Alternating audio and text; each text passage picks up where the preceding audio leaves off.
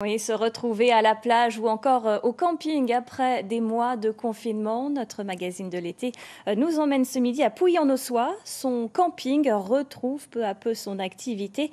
Il aurait euh, juste manqué à la fin du printemps un petit rayon de soleil. Emmanuel Pinsonneau et Romain Libose.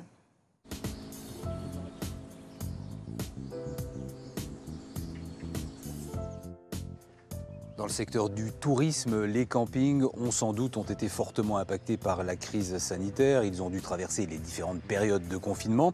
Puis euh, les restrictions sanitaires se sont relâchées, mais c'est à ce moment-là que la météo a commencé à faire des siennes. Bref, une saison bien difficile pour les campeurs et les campings. On va en parler tout de suite avec le propriétaire du camping de Pouilly-en-Ossois.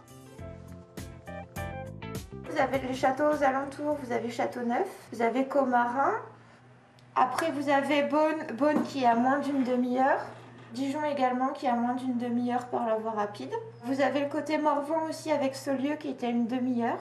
Vous avez Semur en Auxois aussi qui est une jolie ville, pareil à moins d'une demi-heure.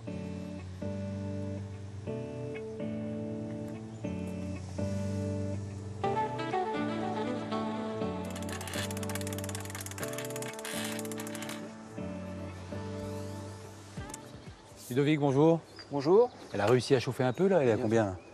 Là, on est à 26, 26 degrés. Oui, ça va. Ouais. Et Vous étiez déjà là quand même euh, au moment des, euh, de la troisième période de confinement. Euh, vous étiez ouvert, comment ça s'est passé? Alors oui, on, est, on a fait le choix de, de rester ouvert malgré le confinement. Nous, de notre côté, nous, on est, un- on est un- indépendant, on a notre compte.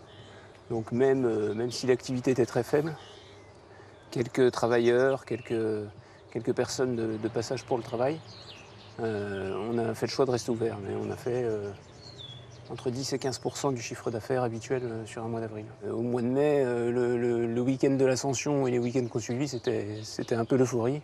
C'est-à-dire qu'on a pas mal de, gens qui, ont, qui réservaient des mobilhomes, des emplacements, et qui se sont retrouvés, des familles complètes, certains venant du sud, d'autres venant du nord, pour, pour se retrouver un week-end euh, un week-end ou quelques jours, euh, quelques jours en plein air.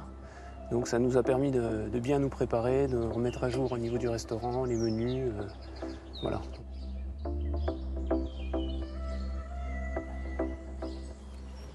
Bonjour.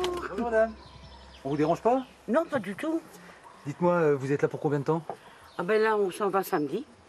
On était là pour 15 jours, Vous venez d'où? De la Moselle à Montvillers.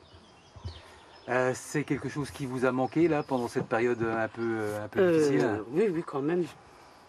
Quand même. Parce que c'était lent, quoi. Puis bon, bah, faut, faut un petit peu sortir ce, cette pandémie de la tête, mais bon, euh, c'est pas évident, hein. Mais autrement, bon, là, on est bien. On est bien, ça nous a changé les idées. On est, on est tranquille, là. Bon, il manque le temps.